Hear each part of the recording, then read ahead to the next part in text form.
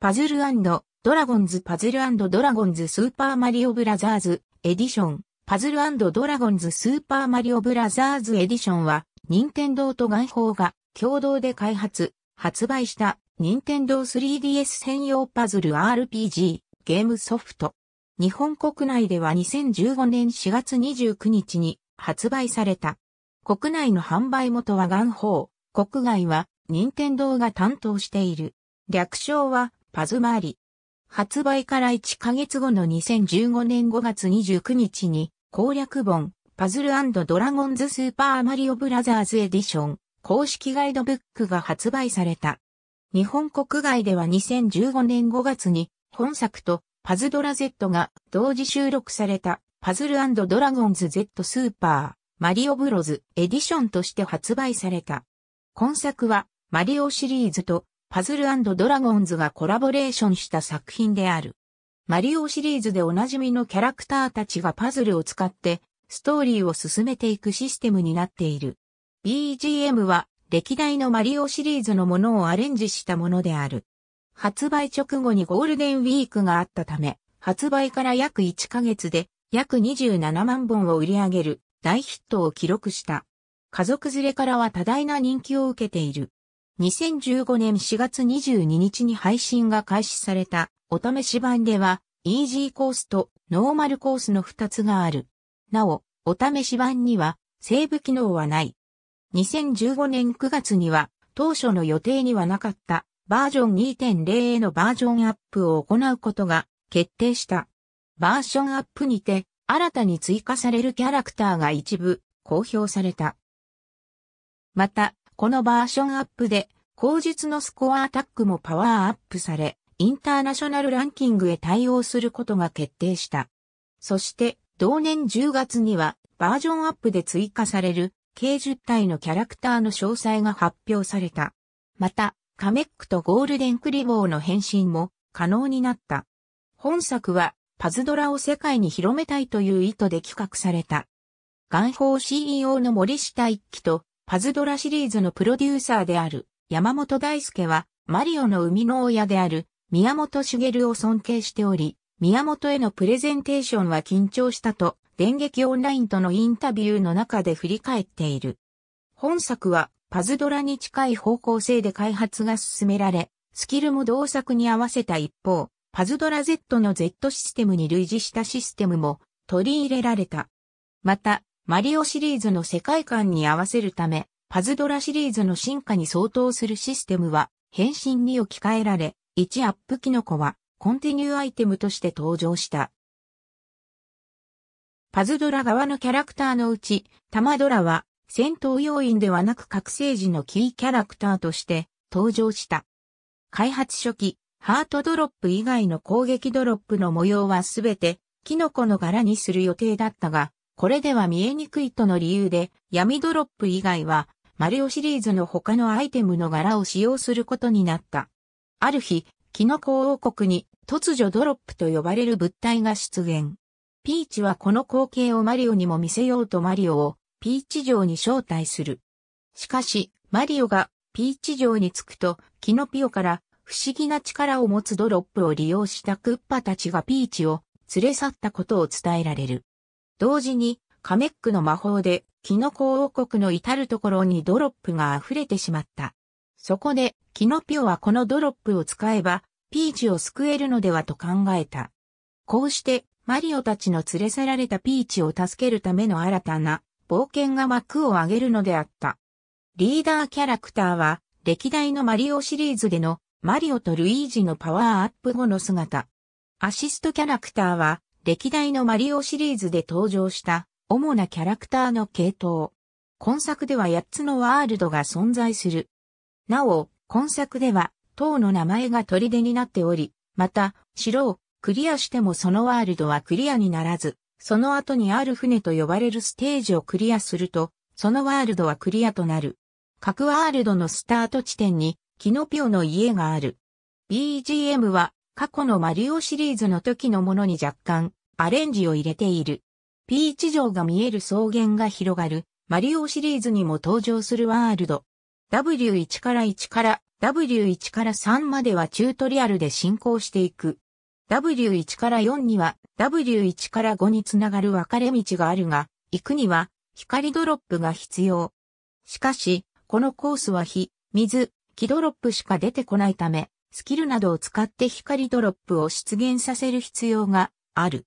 このような隠れ分かれ道はその後も登場するが、大抵はアイコンが表示されなくなる。ボスはラリー。薄暗い極寒のワールド。W2 砦からすべてのドロップが出現する通常コースが現れる。ボスはレミー。遺跡やヤシの木が立ち並ぶ砂漠のワールド。このワールドで初めてお化け屋敷が登場するが、分かれ道の先にある。前半はすべての属性の敵が出現するが、後半は非属性の敵が多くなる。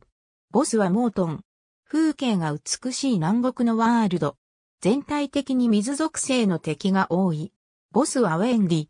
木々が生い茂り、毒の沼が点在するジャングルのようなワールド。全体的に木属性の敵が多い。ボスはイギー。曇りの上を通るワールド。水属性の敵のみ出現しない。ボスはロイ。溶岩に満たされた火山地帯のワールドである。前半は非属性、後半は高属性の敵が多い。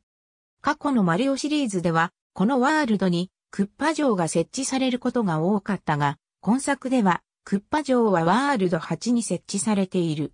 これまでのワールドと比べると、ステージの数が格段に増えている。ボスはルドーイック。クッパ城が存在する最後のワールド。これまでの多くのマリオシリーズでは、クッパ城のあるワールドには溶岩や火山があったが、今作には岩山や黒い雲、薄暗い谷などがある。ステージ数はワールド7と同程度。花ちゃんケロンパ島、新キャラクターも登場する。ボスはクッパジュニアとクッパだが、最終ステージではクッパを倒してもその後にクッパに加え、コクッパ7人衆とクッパジュニアも参戦する最終決戦がある。キノピョの家では仲間の強化や変身、チーム編成ができる。チーム編成、ここでは冒険に向かうチームを編成することができる。なお、チーム編成はステージに入る前のチーム選択の際にすることもできる。パワーアップ指定した一体の仲間に不要となった仲間が経験値などのパワーを送ることができる。パワーを送る仲間は一度に5体まで選べる。パワーを受け取った仲間は経験値だけでなく、体力、攻撃力、防御力が上がることもあり、稀にステータスにボーナスがつくこともある。パワーを送る仲間の中には一度にパワーを受け取る仲間のレベルを3から5ほど上げるものもある。変身ここでは指定の変身アイテムを決められた数、獲得すると仲間をさらに強力な仲間に変身することができる。パズルドラゴンズの進化と同じ。変身した仲間のスキルレベルは LV1 になってしまうが、より強力なスキルを発動できるようになる。変身する仲間を選ぶ際、パネルが発行している仲間が変身可能である。ハテナくじアイテムが出てくるくじであり、100コインで1回くじを引ける。ハテナブロックが3つありそのうちのどれか1つを選ぶ。何が出るかは引いてみるまでわからない。表ワールドのクッパ軍団を倒すと、ハテナくじがリニューアルされ、口述する星の石やグランドレーレーといった珍しいアイテムも出てくるようになる。覚醒ここでは限界まで成長した仲間に新たなスキル、覚醒スキルを与えてレベルアップすることができる。覚醒スキルを与えるには星の石と呼ばれるレアアイテムを決められた数手に入れる必要がある。さらに普通のスキルと同じく、星の石を使ってレベルアップすることもできる。レベルが上がるにつれて、レベルアップに必要となる星の石の数は増える。なおここには、今作に登場する唯一のパズルドラゴンズのキャラクター、タマドラがいる。スキルアップここでは指定のスキルアイテムを決められた数、獲得すると仲間のスキルレベルを上げることができる。スキルレベルを上げると発動までのターンが短くなる。上げることができる。スキルレベルはキャラクターによって異なる。表ワールドのクッパ軍団を倒すと、裏ワールドに行けるようになる。裏ワールドは、ワールド、ステージの基本構成や出現する敵の属性や種類はおおむね表ワールドと同じだが、表ワールドと比べて格段に敵の攻撃力が上がっており、ワールド1から1回の攻撃で3000前後のダメージを受ける。裏ワールドのステージ名は W0 から0と表記される。裏ワールドへはマップ画面で Y ボタンを押すと開くワールド選択から選ぶことができる。ワールド1からワールド8までのマップの背景がやや暗くなっている。パズルバトルは基本的にパズルドラゴンズと同じく6 5マスのフィールドにあるドロップをタッチペンで動かし、縦、横に3つ以上同じ属性のドロップを消すと同じ属性を持つ味方が敵を攻撃する。ドロップは1ターンにつき1個しか動かせないが、7秒ほどの制限時間内であれば、自由に動かすことができる。例えば、非ドロップを消すと非属性の味方が敵を攻撃する。ドロップを消していくと連鎖が生じる。これをコンボという。コンボをたくさんつなげればつなげるほど敵に大ダメージを与えることができる。パズルドラゴンズと同じく敵に与えられるダメージの数値は上画面の味方のパネルに表示される。各敵には残りターンがあり、残りターンが0になると味方を攻撃してくる。基本的に残りターンを多くさせることはできないが、残りターンを増やすスキルを持った味方をチームに入れて、スキルを発動すると残りターンを増やすことができる。今作には、スーパードロップと呼ばれるドロップがある。このドロップを消すと、通常の3倍のダメージを与えることができる。スーパードロップはランダムに出てくる。また、パズルドラゴンズと同じく同じ属性のドロップを5つ以上消すと全体攻撃ができるようになる。全体攻撃は敵一体ではなく敵全体にダメージを与えることができる。さらにダメージは敵の数に等分されず、そのままのダメージで敵に攻撃ができる。敵を倒すと経験値とコインが手に入る。また、敵がアイテムやコインを落としていくこともある。稀にキャラブロックが出てくることがあり、ブロックを開けるとリーダー、サブ、アシストキャラクターとして仲間になる。ブロックは非属性のキャラクターが入っている。ファイアブロック、水属性のキャラクターが入った。ウォーターブロック、木属性のキャラクターが入った。ウッドブロック、光属性のキャラクターが入った。ライトブロック、闇属性のキャラクターが入った。ダークブロックの5種類がある。その中でも少し価値が高いブロックにはスーパー00ブロック、さらに価値が高いブロックにはグランド00ブロックと名称が変わる。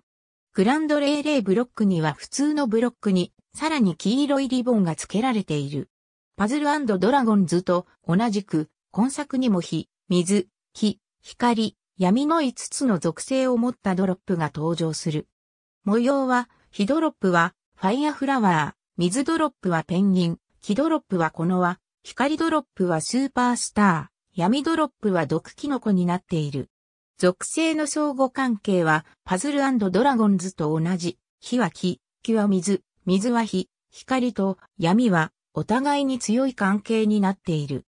火、水、木の3つの属性は優勢属性の味方が劣勢属性の敵に与えるとダメージが通常の1.5倍。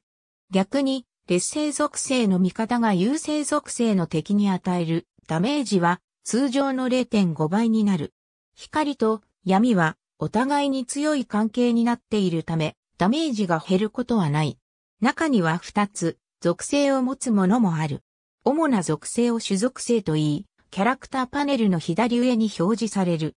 攻撃力は種属性より小さく、キャラクターパネルの右下に表示されるのは副属性と呼ばれる。発番は属性が一つだけの味方、敵が多いが、次第に副属性を持った味方、敵が多くなる。上画面には今の残り体力が表示されている。敵からダメージを受けると体力は減ってしまう。体力が0になるとゲームオーバーになる。体力はハートドロップを消すと回復するが、コンボが続けば敵に与えられるダメージと同時に回復する体力も上がる。体力が0になってもマリオ、またはルイージの残り数があれば、コンティニューすることができる。残り数が0になると、ゲームオーバーになり、マップに戻る。この際、残り数は自動で3になる。残り数は1アップキノコで増やすことができる。1アップキノコは低確率だが、ハテナくじやハテナブロックなどで手に入れることができるが、パズルで12から13コンボ以上、コンボをつなげると1アップキノコを1個獲得できる。なお、今作の残り数の上限は9であり、残り数が上限値に達しているときは1アップキノコを獲得しても何も起こらない。今作では、リーダーキャラクターと4人のサブキャラクター、そしてチームの補助を行うアシストキャラクターの計6人で一つのチームとなる。リーダーキャラクターはマリオとルイージのみで、それ以外のキャラクターはリーダーキャラクターになれない。チーム全体に影響を与えるリーダースキルを持つ。サブキャラクターは敵ブロックで手に入れて仲間にした敵からなる。アシストキャラクターはマリオ、ルイージ、各色のキノピオ、各色のヨッシー、ピーチ、ロゼッタ、クッパなどがなれる。リーダースキルとともに、チーム全体に影響を与えるアシストスキルを持つ。リーダーキャラクターとアシストキャラクターはストーリーを進めていくと増えていく。